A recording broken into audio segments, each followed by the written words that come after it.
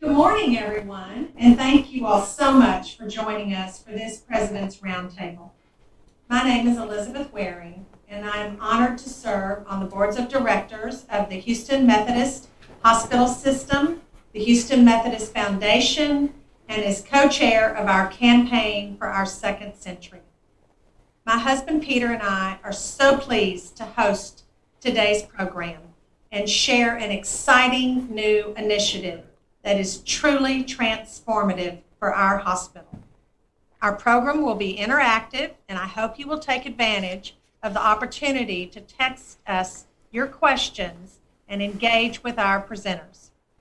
And now I would like Peter to tell you more about this exciting new initiative. Thank you, Elizabeth, and welcome to everyone again. You know, 47 years ago, uh, Elizabeth started her first job out of college at the Methodist Hospital so we could save enough money for me to pay my tuition to Harvard Business School. So I have a deep appreciation for this institution. But I'm not a scientist and I'm not a doctor. So my contribution today is more focused on the business side of medicine.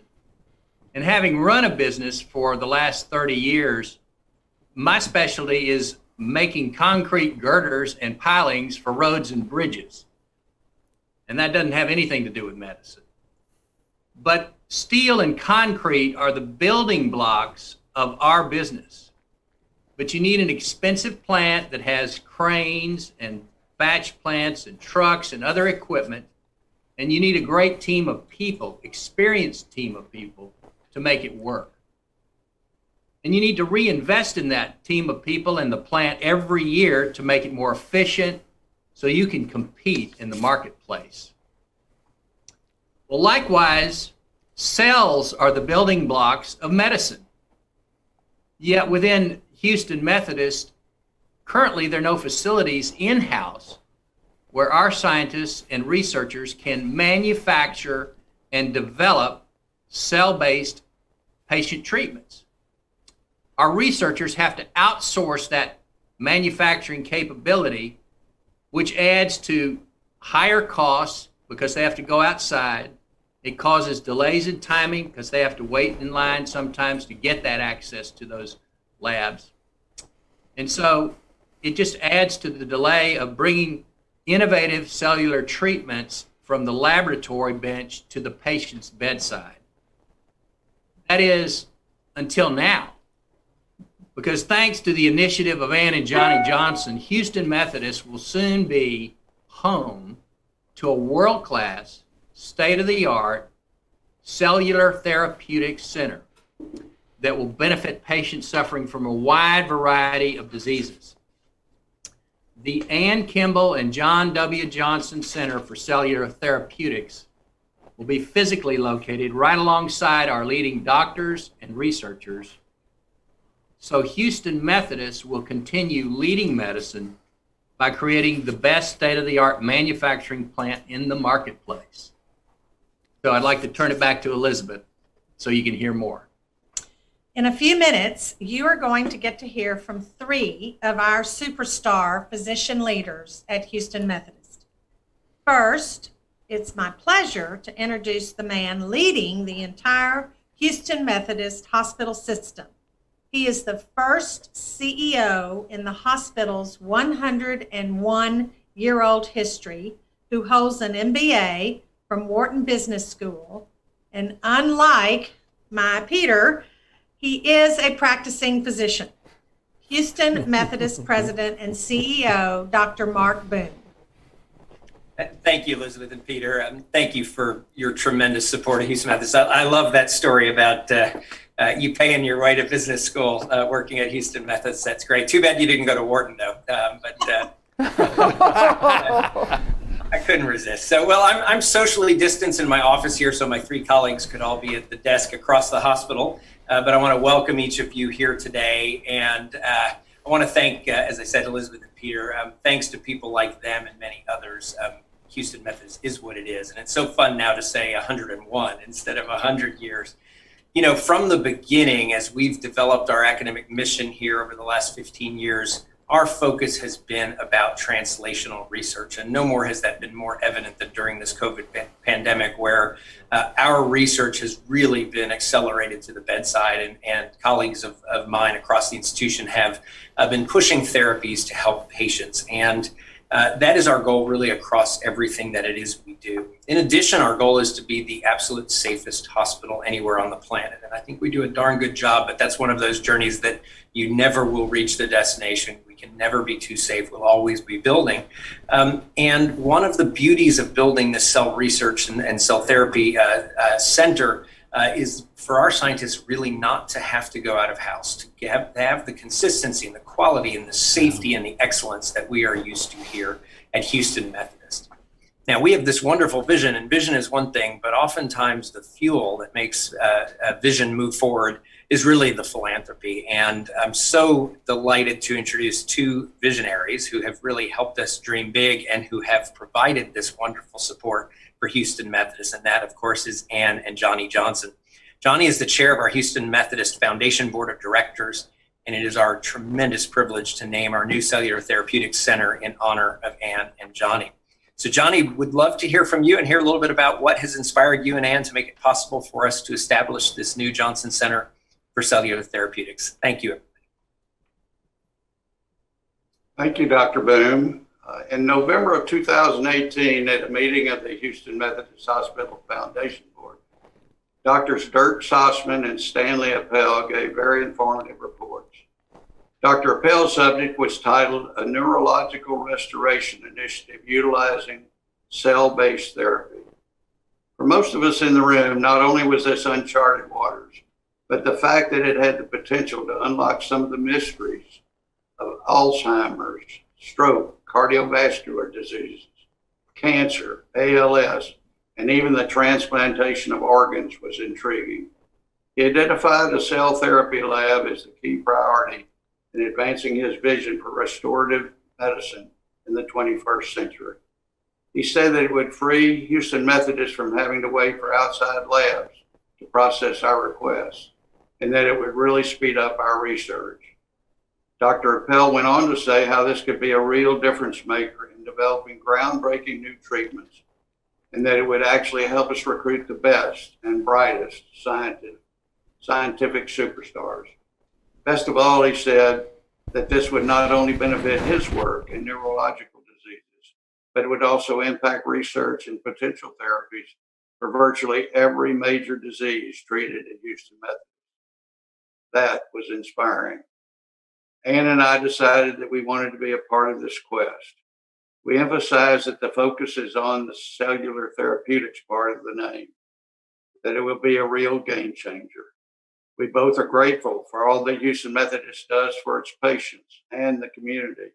And we look forward to seeing the life changing remedies that the physicians and scientists working in the Cellular Therapeutics Center will make available for those suffering from illness and injury, not only here, but literally everywhere. My experience has been that in successful enterprises and pursuits, it is people that make the difference. And now I'm privileged to introduce one of these extraordinary people, Dr. Stan Appel. Dr. Appel holds the Peggy and Gary Edwards Distinguished Chair in ALS and is the chair of the Stanley H. Appel Department of Neurology at Houston Methodist. He has devoted his life to understanding the brain leading to groundbreaking treatments for neurodegenerative diseases such as Alzheimer's, ALS, and Parkinson's. We couldn't be more pre- pleased and proud that Dr. Appel will be leading this Center for, Center for Cellular Therapeutics. Dr. Appel, please tell us more about the center. And thank you so much. Thank you for your gift Thank you for your philanthropy and thank you for honoring all the physicians who have been struggling so hard to uh, initiate programs in cell therapy and for the privilege of moving forward, uh, which we're going to do in a major way. At this point, I'm going to turn the program over to Ed Jones, the head of our research institute, to describe the facility that I think is going to be a game changer. Ed? Thank you, Dr. Appel. Good morning. Thank you again, Ann and Johnny, so much for your generosity, for your vision, and also for bringing Dr. Appel and I back together. Dr. Appel had this vision many years ago and tracked me throughout the halls of this hospital for several years to the point at which I was beginning to have to avoid him until your wonderful gift has now rekindled our relationship. So thank you so much. I would like to begin this morning uh, with a brief overview of the actual facility and how it plays into our strategic plan. As you may recall, the Houston Methodist Research Institute was really designed to accelerate the cycle to a cure by speeding up this transition and taking out uh, time and money out of the equation. One knows that often takes about 17 years and more than $3 billion for a new therapy to be discovered and brought to the clinic.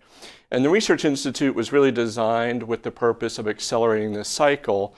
And I think as you will see, this new Center for Cell Therapy will create an anchor tenant in this schematic.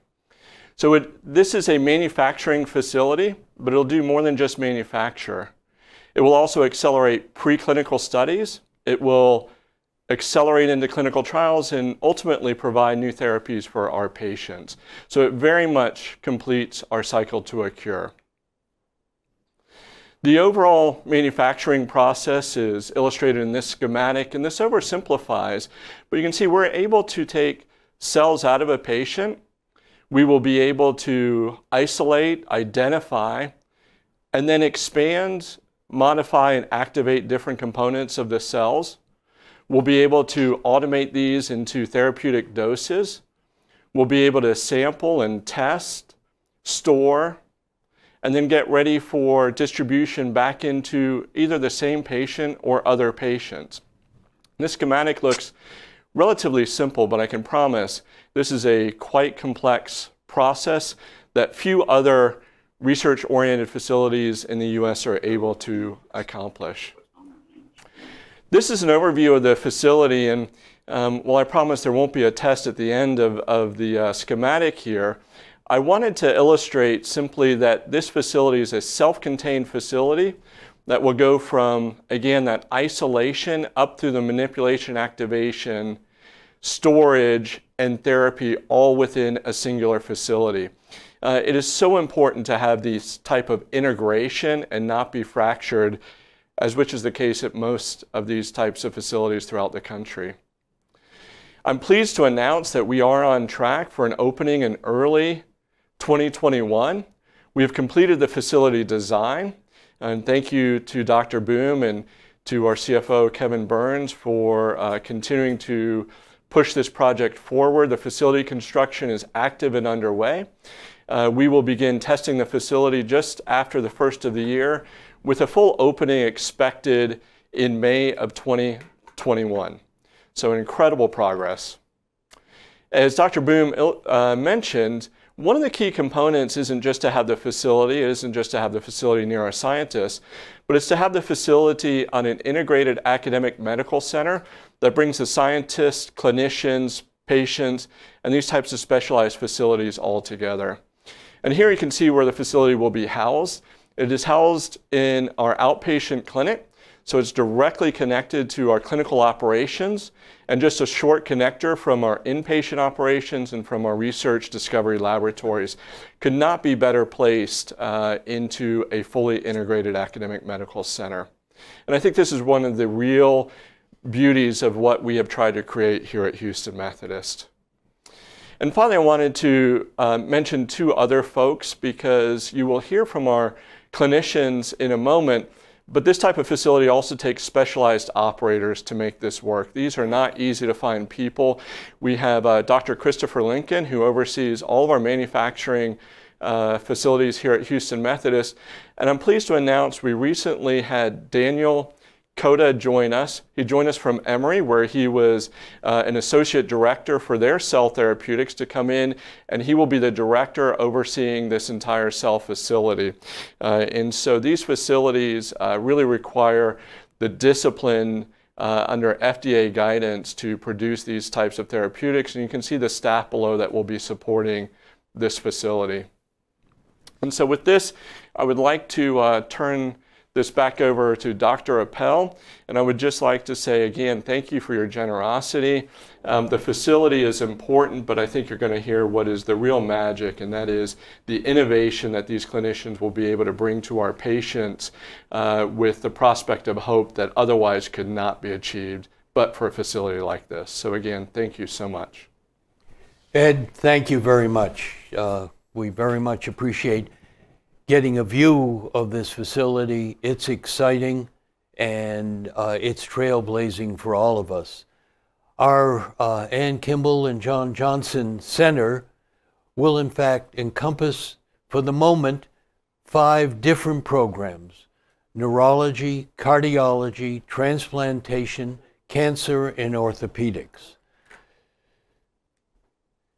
So, with respect to cell therapy, I just want to indicate how important this is. I think Ed has given us uh, the highlight of this, but this is important for cancer and what it'll mean in cancer, for transplantation, for what it's going to mean in orthopedics, and what it's going to mean in heart disease, as well as neurology, ALS, and as well Parkinson's and Alzheimer's disease.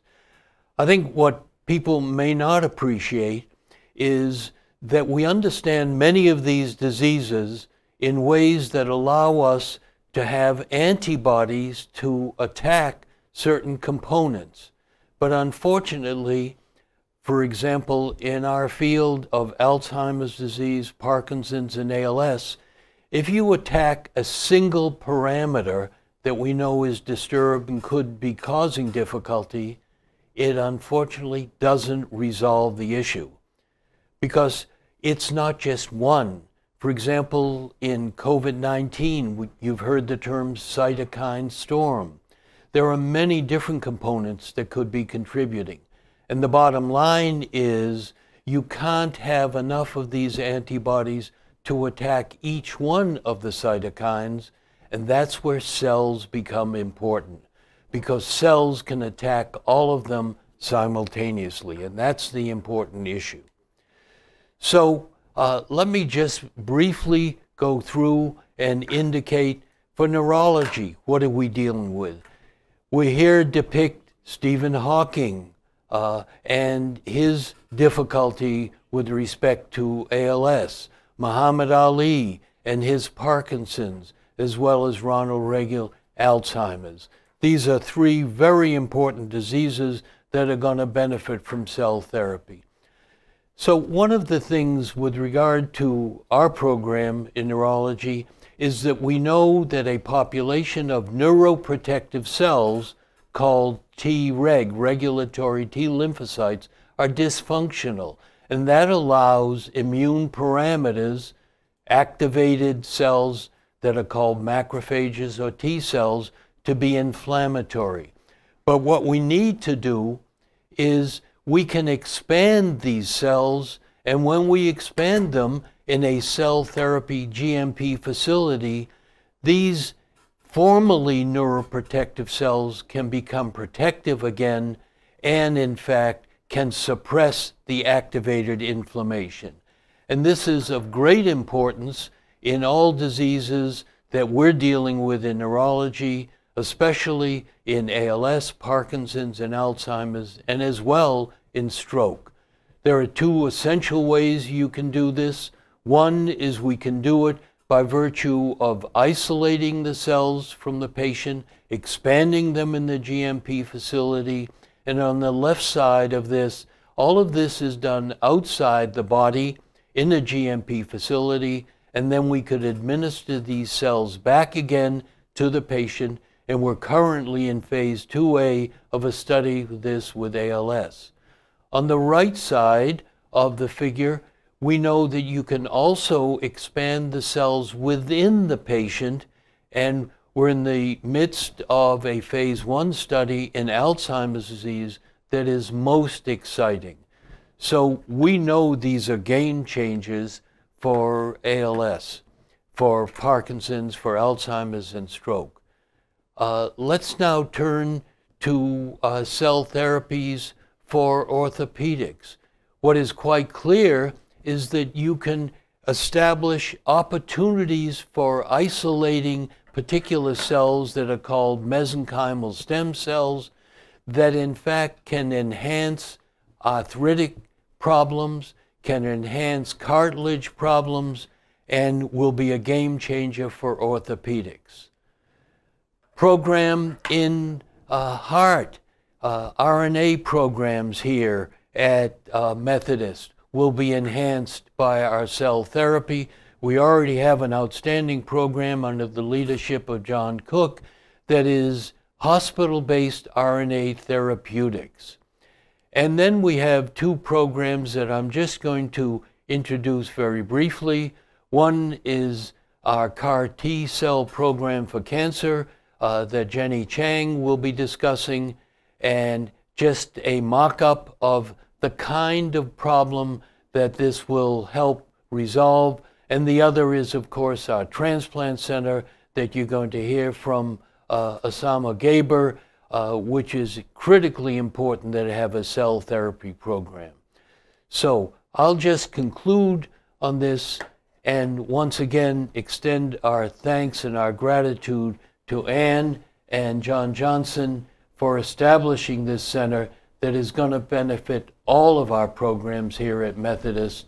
And we will indeed be leading medicine with respect to this. So at this juncture, I'd like to now begin our program and turn it over to Dr. Jenny Chang and tell us about your cancer plans, your cancer programs for the GMP facility. Stan, I must actually truly applaud you for this vision because it truly is going to be a game changer. For cancers, you know, cell-based therapies is uh, you can actually give it as a treatment, and uh, we can do it in several ways. There are things that are called TILs, where you grind up the tumor, and you take out the T cells, and you inject it back into the cancer, so so that your T cells, your own immune cells, can kill the cancer. But usually, the cells that come out of that, they're exhausted.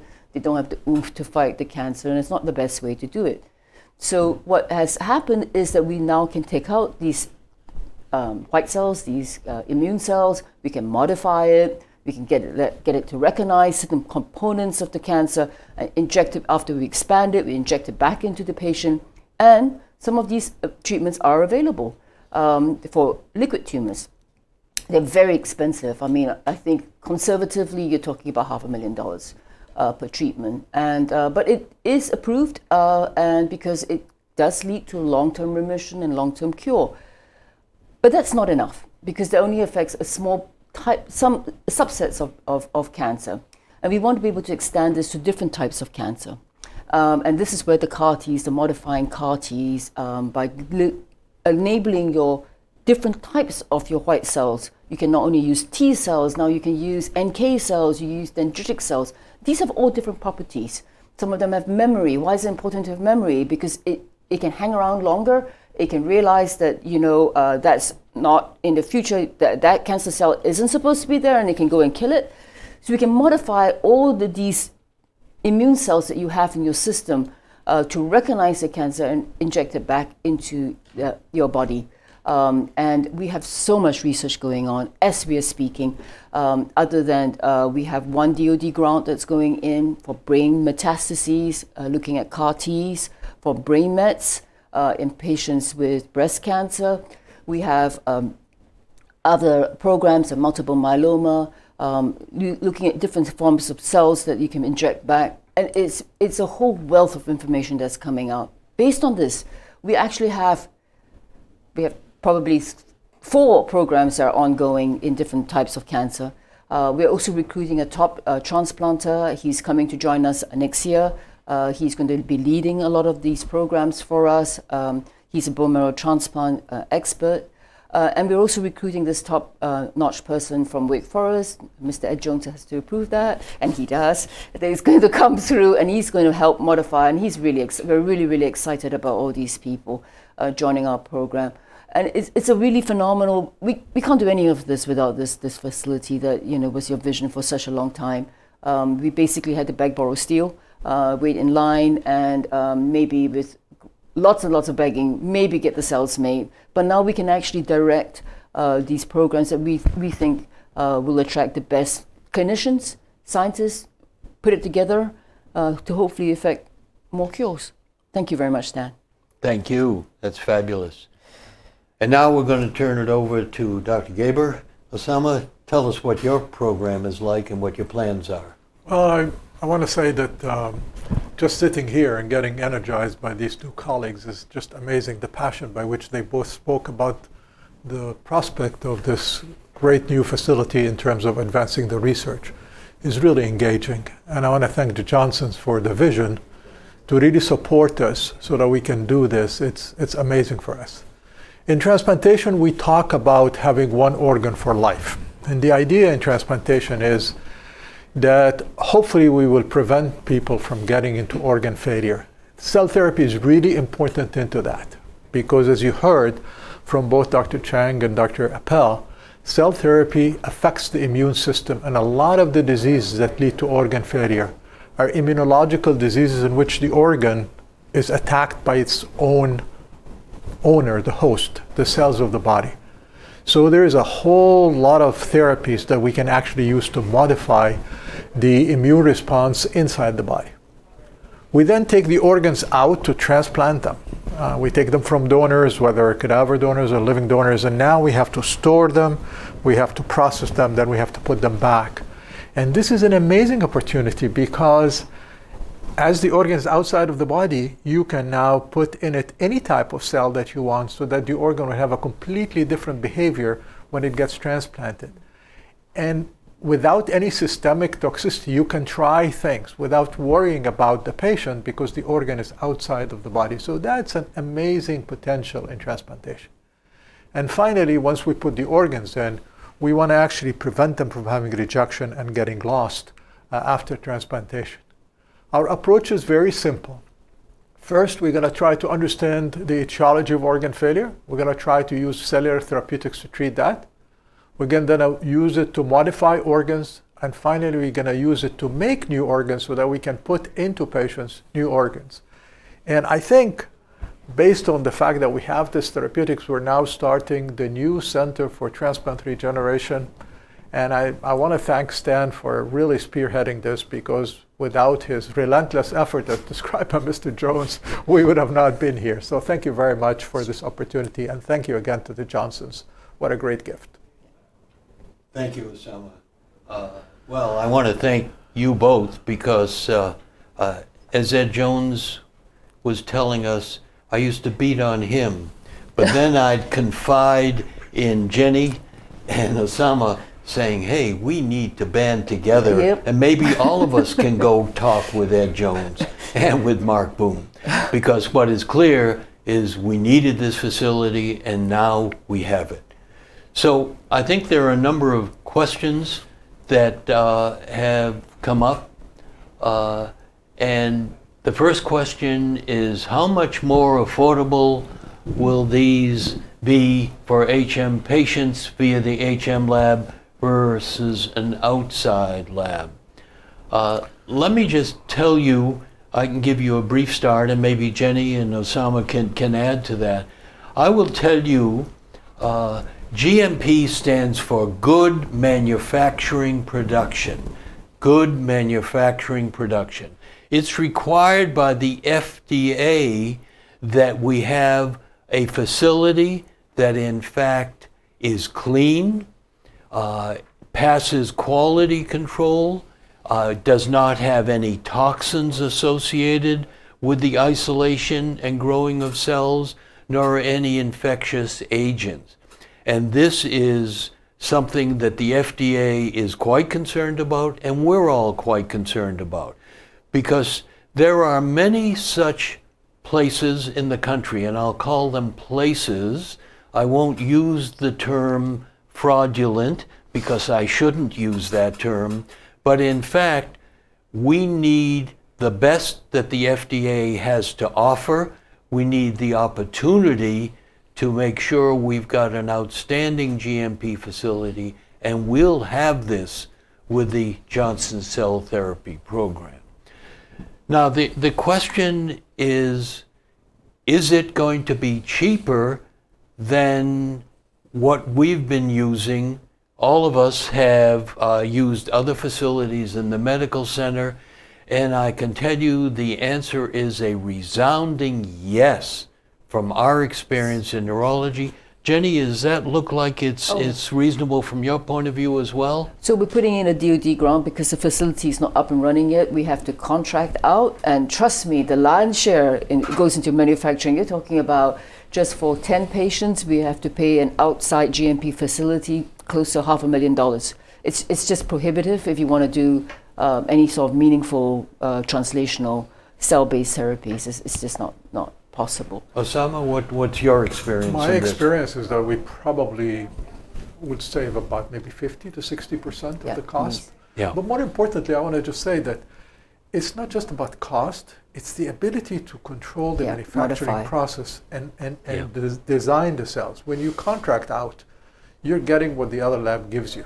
But when you have it here, you go to Chris and you say, these cells don't look exactly right. What can we do to fix that? And then you have a product that's actually clinically superior and benefit the patients more. I think that's the, a- an amazing benefit for us. No, I, I agree totally. Uh, the next question uh, I'm going to ask each of you to answer. What's the most exciting cell project you're working on, Dr. Chang? Well, I'm a breast cancer doctor, so obviously I have to, but it's not that though. But all forms of liquid, uh, all forms of cancer, whether it's liquid or solid, because at the moment the treatments are not available for solid tumors, the most common types of cancers, lung, breast, prostate, we don't have cell-based therapies for those. If we can find a way in which we can actually get your immune system modified and put it back to you with the cellular therapeutics, to me, that's the most exciting. I think we can. Uh, we're not there yet. For the liquid tumors, we have commercially available um, um, um, uh, cell-based therapeutics, but for the solid tumors, not yet. But we're going to get there.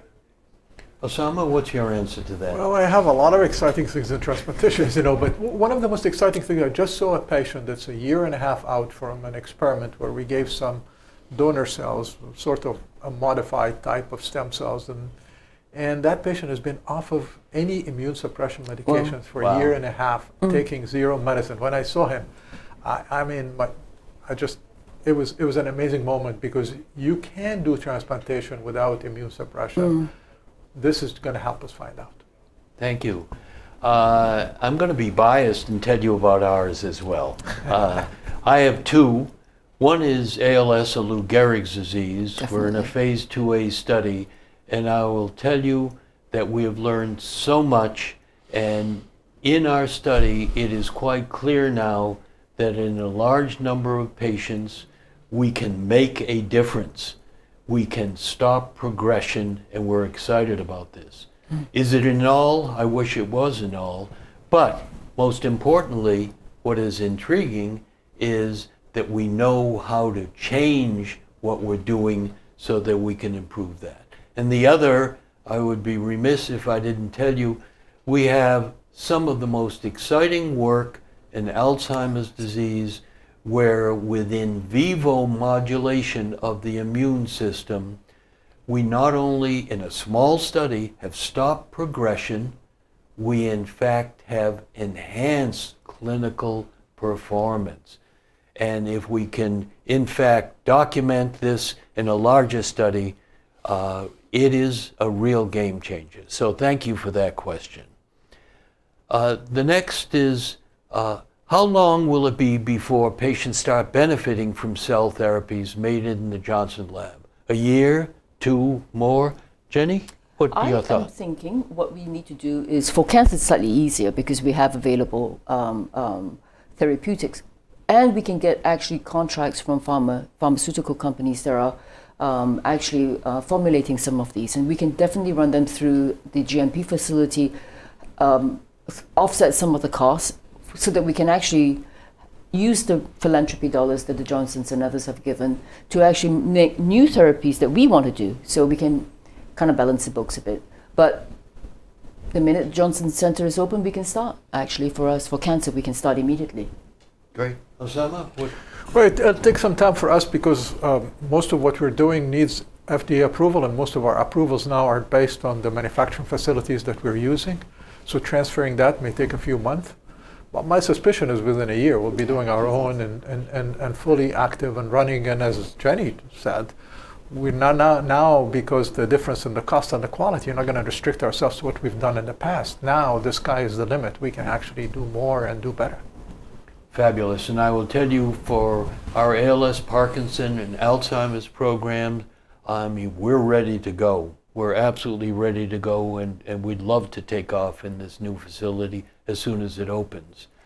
Uh, next question Will the Johnson Lab only be for HM patients, or will the lab also do work for other outside projects? In your field, Jenny? I, I think we was limited to HM investigators and patients at this moment because it's not that big and we have so much pent up need. In the future, if it gets bigger, sure, but I, I think there's so much that we need to do in house at the moment. I can't see it being big enough yet to take outside contracts, but I could be wrong. Okay. Osama, what are, you, what are your thoughts? I'm not. I'm not sure. Uh, what, what Jenny says is absolutely correct. I have so many investigators in transplant area that want to use the facility. I think they're going to absorb any amount of capacity that we deliver. So I'm not sure yet. And, and that certainly is, is my answer as well. I, I think we have enough patients, enough diseases, and uh, enough bandwidth, uh, and we're going to expand our bandwidth. Part of the programs we're going to do is to bring in new scientists working Yes. here. Definitely. So uh, our HM patients are really going to be the real beneficiaries of the Johnson's philanthropy. Uh, how many different cell therapy projects will the Johnson Lab be able to do at one time or in one year? Do we need to get Mr. Jones back in here for I that? think so. Well, Jenny, what? I can think of five from day one. So I come up with, that all depends on Mr. Jones, whether that increases, but there are five cancer projects that can go off immediately. So Uh, that's a great question, and you may find us fighting over that question within within the next period of time, unless the Miss, Mr. Jones' largesse expands beyond where we thought. Uh, Osama, any thoughts? Well, I, I think I think like you all said, there's going to be, of course, competition for the resource, and there's going to be a lot of patients. And the luckily, I think Stan, you come you came up with a really good design of having a steering committee, and we're going to base it on the best science, moves forward faster, and that's I think what we're going to do. Yeah, I, uh, let me let me just reinforce what Osama said. Uh, our programs, our cell therapy programs, has a steering committee, and the steering committee consists of my two colleagues here, as well as Pat McCulloch uh, and John Cooke. Pat McCulloch from orthopedics and John Cooke from cancer, as well as myself. And what we've all decided is that it is our goal not just to run our own programs, but to make sure we have quality control for the whole institution with regard to cell therapy, that we vet the best programs going on, and even if they're not in our own area, that we have an opportunity to bring other scientists to benefit from our cell therapy facility and program. And, and that certainly is our goal, and, and we're committed to it, and I think all of us are committed to this sort of program. Uh, you, any plans for expansion? Uh, oh my goodness, Ed Jones, he, there he is sitting.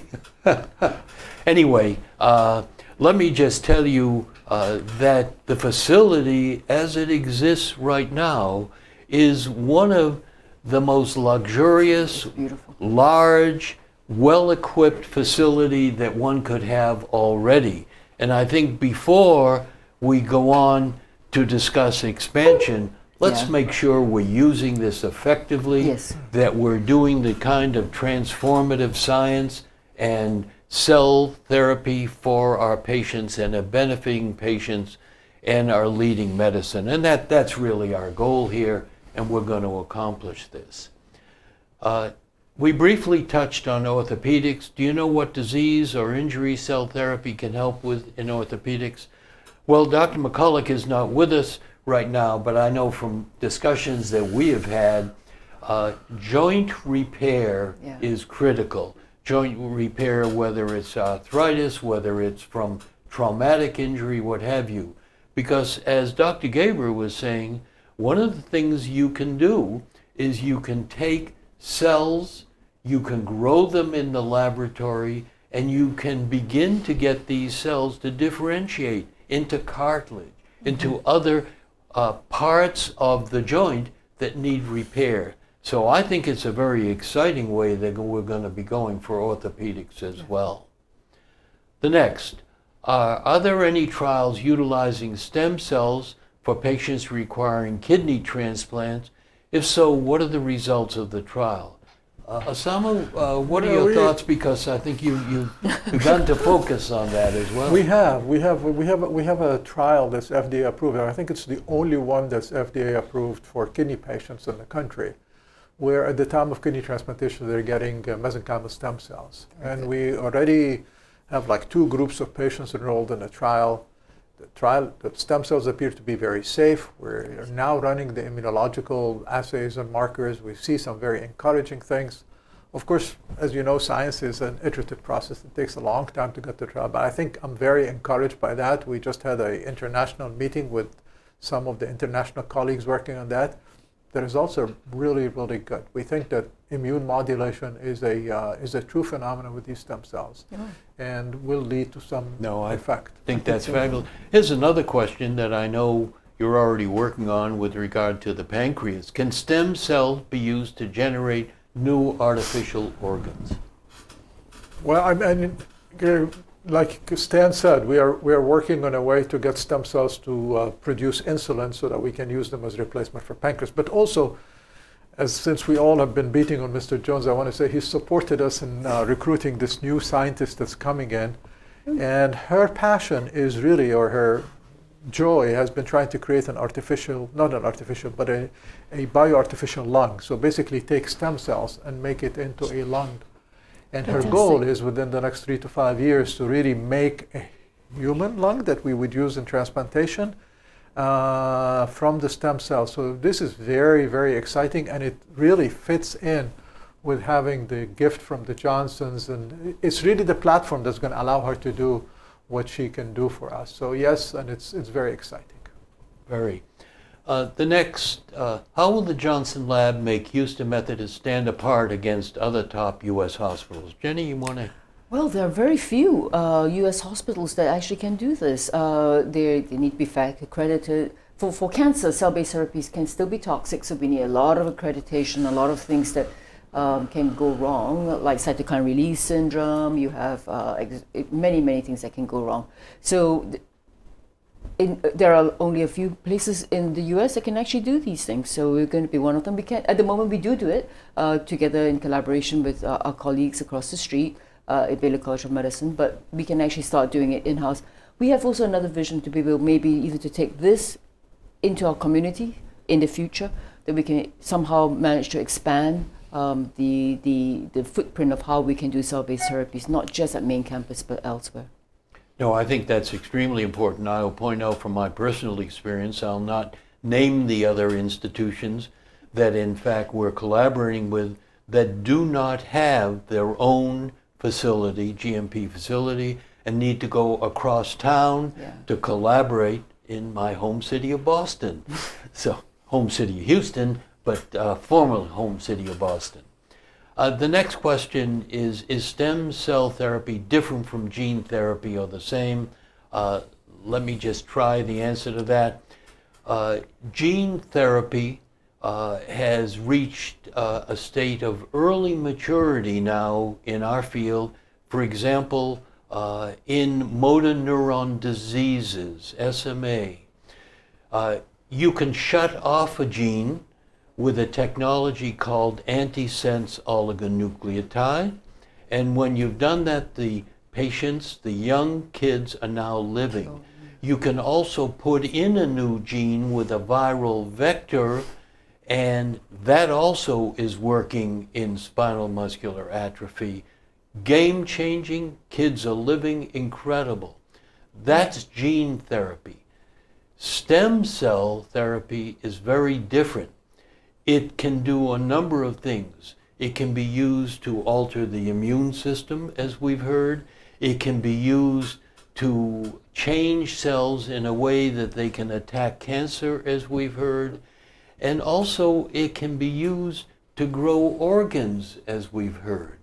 So it has a greater, greater purview than gene therapy does, although gene therapy when you want to target a single mm-hmm. gene is an effective way to go. So both are extremely useful, and we're at the top of our game now at Houston Methodist with both. How will creating organs be ethically monitored? That's yours, Doctor. That is a very complex question. Um, I think that because of the fact that you can take stem cells, hopefully you can do it from the patient's own stem cells, then the ethical questions would be not very severe or serious because the patient is donating the cells that are now put to make them the organ. Of course, that's not going to work for all patients because probably some of the diseases would affect the cells that come out of the patients, so we need to take cells from other patients. And because there has been a long history of cellular therapy in the country, there are some guidelines, but of course we would need to work harder on more. It's a very difficult question because the ethics get so complex, of course. But I think at Houston Methodist, we always really stay in the most conservative and most ethical approach to doing this, and that's the intention of, of our program. Great, thank you. Well, I see no more questions there. Dr. Boom, uh, would you like to ask anything or have any thoughts you'd like to offer us? Well, what other fields do you see that might be added into this? You've described a number of priority areas, but um, there are other fields as we continue to expand this going forward. So, talk a little bit about that. Well, one of the fields that uh, we had contemplated including uh, asked uh, if they could uh, take a little rain check for several months is the field of gastroenterology, which I think is extremely important. And uh, Dr. Quigley and his group will be joining us in due time. Uh, there are a number of other fields that I think will be productive. I know our colleagues in urology have talked about the importance of stem cells and GMP facility.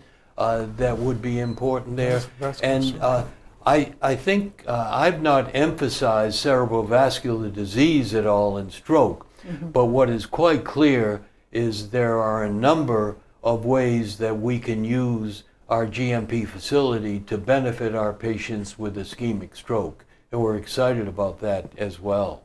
I think also heart failure uh, the progression of heart disease into heart failure has an immunological component and a fibrosis component, and both can be tackled by stem cells. And we have Dr. Bhimaraj and uh, his group, Dr. Uh, they're, they're, working on that. So I, I, think they can be easily interested in this technology and want to and want to participate in that sort of research. No, I, I agree totally. I think uh, question, what is the actual process of removing and then replacing cells in a patient? Question, surgery. I would just start by saying in ours it's very simple. Uh, we take the blood out, yes. we isolate the cells, we expand certain populations, and then we put them back into the same patient, and that's called autologous.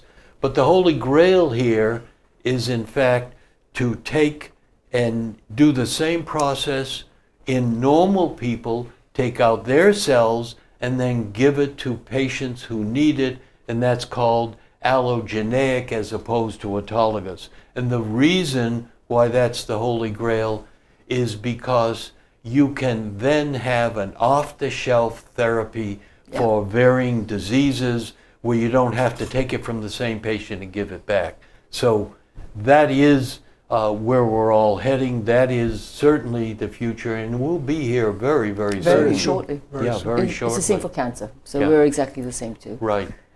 Uh, Elizabeth, is this the time where we turn things back to you, or? I, I guess so. You've answered all the questions, so um, that was wonderful. Thank you, Dr. Appel and Dr. Gaber and Dr. Chang for this inspiring discussion as part of the Johnson's uh, commitment to establish the Johnson Center for Cellular Therapeutics, they helped provide a $4 million challenge fund to match all gifts, dollar for dollar, for each center of excellence that we've mentioned today, as well as for the Houston Methodist Academic Institute.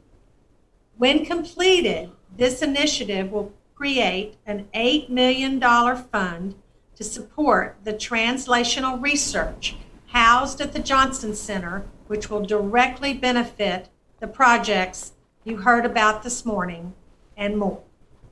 While all gifts will be matched, donors of $50,000 or more will be founding members of the Ann Kimball and John W. Johnson Center for Cellular Therapeutics. Founding members will be the first to learn of exciting new research and discoveries, and they will have the opportunity to engage in conversations with the scientists and researchers behind these amazing projects. Gifts can be funded over a period of five years. If you would like more information about supporting the Center for Cellular Therapeutics, please reach out to Susan Coulter at the Foundation.